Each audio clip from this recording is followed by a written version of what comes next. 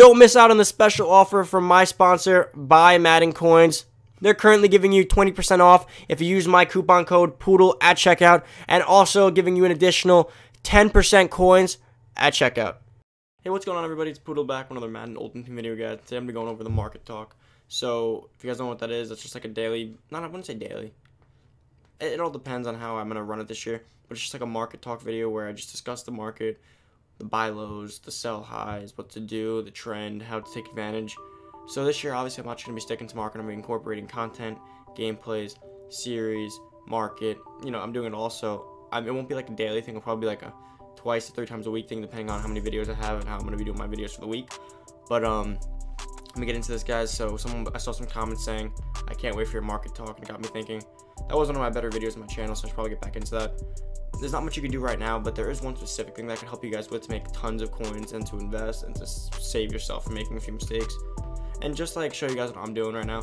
But guys, if you're new to the channel, make sure to drop a sub. Really helps me out a ton. Trying to really get this going, guys. Also, let's hit 50 likes in this video. So I gotta do drop 50 likes, helps me out a lot. The more likes we get, guys, the more the channel starts popping. So I need you guys to help me out with that. Drop a comment down below. What do you guys think on my opinions on the market and how we could, if you guys just all come, we could all work this out together to make the most coins this year. So let's get into this, guys. So first off, before someone comments, Poodle, you got no coins. You can't be speaking on the market. Let me show you my team real quick. Just give you guys a, few, a little idea of what I'm working with here.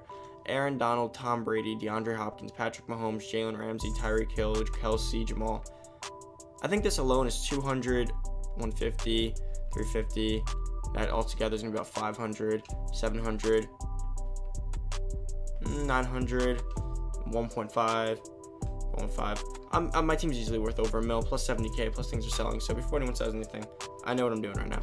So for starters, it's going to be, mm, let's see.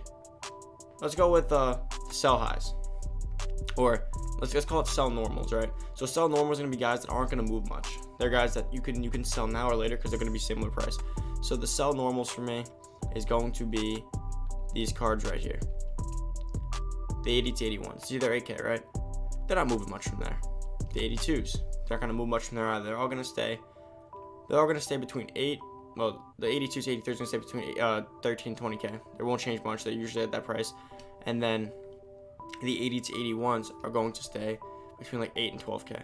So these guys are pretty much. I'm gonna call them the sell normals. These guys you could sell. I'm selling them now. So if you like, if you want coins right now from the players you pulled, you don't have to. You don't have to hold them. You don't have to sell them. You don't have to buy them. They're whatever you want. They're like they're like the stagnant guys. They're not gonna move much. Now, what we have to really worry about are the 84 to 85s. Here are the guys that you might want to sell high or sell low. So certain guys like Hudson are a little bit on the lower side. You could probably hold on to him. He'll probably go up being an 84 center, 22k. But there's guys like Lavonte David. I sold him. I sold him yesterday. For, I, mean, I should have made this video yesterday, but I sold him yesterday for about 37k. Being that he is very slow center. Center, middle linebacker, sorry, zoned out. And like those kind of guys, you really can't just rely on to stay on. He's not going to be valuable for most players, so it's not something you can really rely on as a player that's going to keep his value. So like guys like Lavonte David are good sell highs. And then if you go down, obviously go to the higher ones like Zach Ertz. I have Ertz right now. He goes to like 40k, and he's kind of really, really slow. So again, he's a guy that I'm trying to sell right now, just for the fact that I don't really see him staying that high. And then the guys all the way up here. Let's come down to here. Guys like Tyreek Hill. He is risky, right? So I have him. Pulled him out of a pack. I'm going to hold on to him because he is so glitchy that I'm going to make the money back, right? In Weekend League. I'm going to play some Weekend League. I have a really amazing team. Hill's going to help me a lot, so I don't really mind having him because I'll make it back. But he's a hard, he's a tough one to project.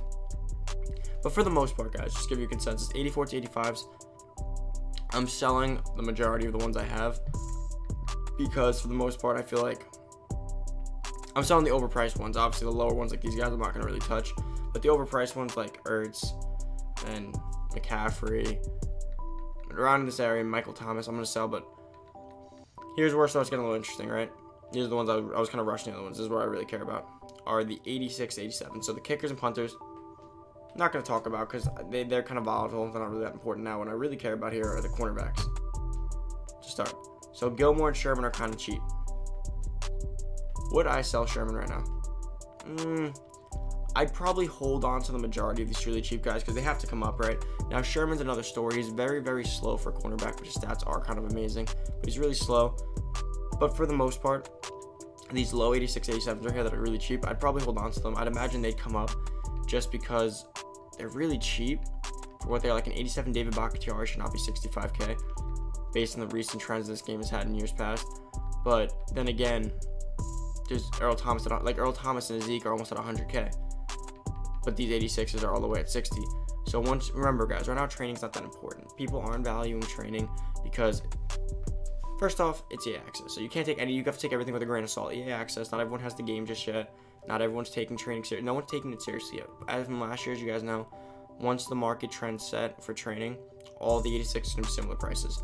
So Gilmore, in my opinion, there's gonna be like a line of median in between. So I think Gilmore has to come up to match that, and then Zeke and them have to come a little down. But in the very early stages, it's not gonna happen. I think Gilmore might come up a little bit, but I think even Zeke could go up a little bit. Just because these are popular players, in the beginning, popular players, people are gonna buy them. Then once the game starts getting more players, cards start evening out, training starts coming out, you can make any card better. That's when cards start losing. Cards won't lose their shine for like a month or two. You remember last year, guys, Tyreek Hill was the most expensive card in the game, like year round. And then once Chem started getting better and everyone started getting 99 speeds, Tyreek Hill was not nearly as rare as it used to be. So once the game allows for other players to be similar, the name brand kind of shine goes away. Guys like Odell, I mean, you could hold them. Name value is going to keep them up. I haven't bothered touching him yet because I'm not sure where he's going to go from here and because I'm kind of stacked at wide receiver. Guys like Clowney were a good buy.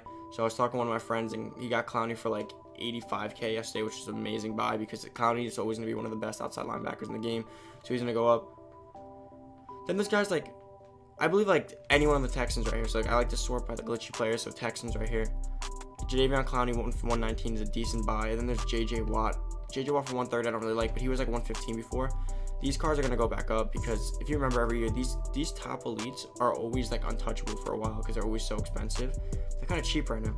Von Miller is a pretty good buy if you can get him for like 130, only because Von Miller is gonna be one of the series. He's a series one master, or whatever it's called. So you can probably power him up into that. So everyone's gonna want him the second they start getting those. So he'll get more valuable. I just bought Ramsey. Ramsey was a great buy. I got him for 189, I believe. So 189, and look at him. So I already made money that way. And if you guys know anything about Madden Ultimate Team in the last few years, Jalen Ramsey holds a very high price in the market for a long time, like for months, because he's even in the power ups. So I'm gonna have a top top corner. Look, he's fast with an 83 speed, and if you look at all his stats, that's what you gotta look at. You also have to look. You have to read into the stats, right? Because right now the prices are just high because they're elites.